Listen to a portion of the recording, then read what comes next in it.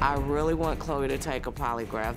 She refused. I have extreme anxiety, and that was a fear of mine that I would maybe fail. She has a lawyer in her family that told her not to do it. I'm open to doing one. It's more so that my attorney slash my grandfather has advised me not to. I would think that he would know what's best. This is the one thing I think that could give me closure. I don't know if I will ever take one. Well, after the tragic loss of her son Malcolm, Stephanie says she just can't move on until she knows the truth from Malcolm's girlfriend Chloe, the only person who was with him the night he fell. Now, Stephanie and her sister Reba believe that Chloe's silence is an admission of guilt and says Malcolm's death is on Chloe's hands. You, say that you, you don't know that you'll ever take a polygraph, that you've been advised by a family lawyer to not take one. My, my grandfather, actually, yes. And he said, don't take a polygraph.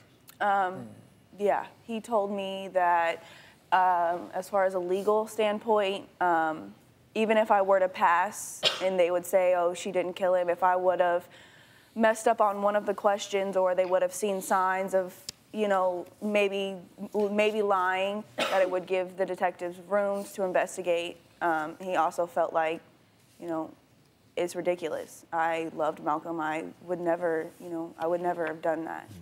So If she were to take a polygraph in fairness, mm-hmm. y- you've said that you would still feel like she contributed to his death because they were fighting and arguing and she was in his face and and and contributed to it. Correct. So in Not saying in fairness, you, you might say, well, okay, so she didn't push him over it, but she still contributed to the fact that he's not here. right. I mean, but I can't hold that against her. You know what I mean? What I say or I do. No, I I can't hold it. it against Like- her. We'll never be cool. I'm just gonna be honest. Uh, It'll never happen. It will not happen, period. But I can't hold that against her. If she didn't touch him, I can't hold it against her. I just wanna move on. I've been in my job for 15 years. I haven't been able to go to work. I just wanna get this over with. Period. That's all I asked her to do. Just take the test for me. You say you love me and my family so much, take the test and get it over with. Just let me know this one thing. You're here. My son is gone. I have to look at my son on my table every day when I come home. That's ridiculous to me. I shouldn't even be accused because, like, they know how much I loved Malcolm. Like, she used to tell me that I would never leave him. They know that. How much you loved him, but I know how when you get angry, how you go after him too. That's my problem.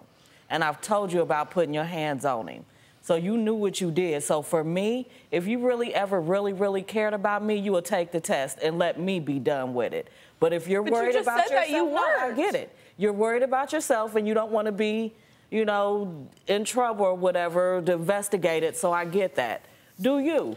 But if you really cared about me, if you ever cared about me and Malcolm, y'all say what Malcolm would have wanted. Malcolm would want you to take the test so his mama could move on. Because you knew, if nothing else, my baby loved me. My baby was uh, for me no matter what. So if you loved me, if you really loved my baby, you would take the test so I can move on.